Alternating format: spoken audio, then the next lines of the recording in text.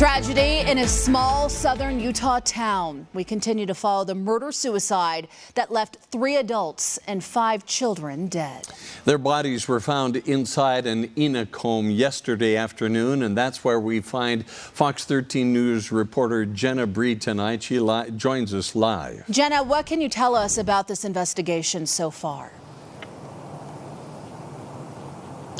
Bob and Kelly, police believe a man shot and killed his seven family members before taking his own life at this home on the 4900 North block of Albert Drive. There's no timeline on when the family was killed, but the Enoch City mayor says witnesses saw members of the family at a church activity on Tuesday night. The three adults were identified as Michael and Tasha Haight, Tasha's mother, Gail Earl, and five children who were not identified by name but range in ages from four to 17 years old. After being married for nearly 20 years, court records show 40-year-old Tasha Haight filed for divorce on December 21st in Iron County. In a briefing today, Enoch City Manager Rob Dotson said authorities received a call Wednesday that Tasha had missed a previously scheduled appointment, and that's why police made the welfare check yesterday afternoon.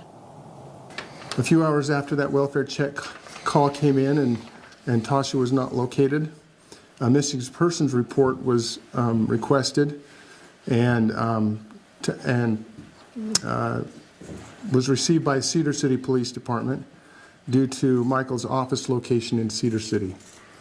Once determined Michael's home address was in Enoch City, the missing persons report was passed to Enoch City officers, at which point um, the welfare check to locate Tasha became an effort to find the entire family. Michael Haight was listed as an Allstate insurance agent with an office in Cedar City, but a family friend told Fox 13 News that the 42-year-old had left the company within the last week. Dotson says the bodies have been removed from the home and autopsies will be performed within the next coming days. Reporting live in Enoch, Jenna Bree, Fox 13 News, Utah.